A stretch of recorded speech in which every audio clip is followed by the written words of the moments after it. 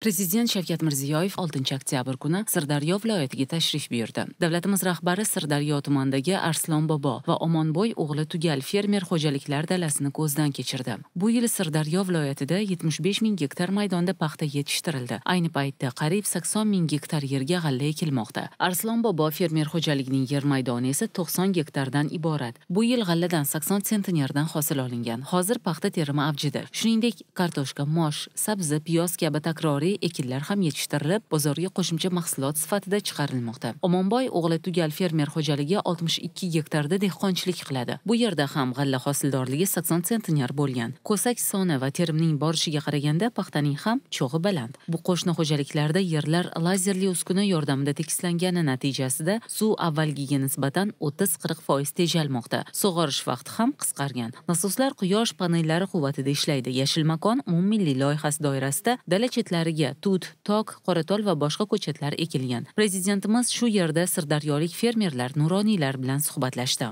Fermerlar qishloq xo'jaligida imkoniyatlar kengayib manfaatdorlik oshgani majburiy mehnat tugatilgani qo'shimcha mahsulotlar yetishtirilayotganini aytishdi. Davlatimiz rahbari bu yerda dehqonchilik qilayotgan yoshlar bilan ham suhbatlashdi. Ular mazkur fermer xo'jaliklari dalasidan nol o'ndan besh gektardan yer olib mosh sabzi piyoz sarimsoq piyoz yetishtirayotganini so'zlab berishdi. Bundan olgan daromad hisobidan universitetda o'qish uyini butlash rejalarini ma'lum qilishdi. Prezidentimiz sayxunobod tumanidagi shukronalik mo'jizalari fermer xo'jaligi dalasida ham bo'ldi. Xo'jalikning umumiy yer maydoni yetmish gektar joriy yilda yigirma besh gektarga paxta qirq besh gektarga g'alla ekildi. Hosildorlik mehnatga yarasha. Yuqori. Mamlakatimizda qaysi mahsulot ko'proq daromad keltirsa o'shani ekishga e'tibor ortayotgani ham qishloq xo'jaligida yaxshi samara bermoqda. Bu fermer xo'jaligi ham g'alladan bo'shagan maydondan yaxshi daromad oladi. Xususan bu yil qirq besh gektar maydonga takroriy ekin sifatida mosh ekilgan. Xo'jalik faoliyati bilan tanishuv chog'ida ushbu ekinni yetishtirish bo'yicha chet el tajribasini o'rganish hosildorlikni oshirish uchun ilmiy asoslangan yondashuvlarni qo'llash zarurligi ko'rsatib o'tildi. Shu yerda qishloq xo'jaligi sohasi vakillari va mutasaddilar bilan ham muloqot bo'ldi. Davlatimiz rahbari innovatsiya va nav evaziga hosildorlikni oshirish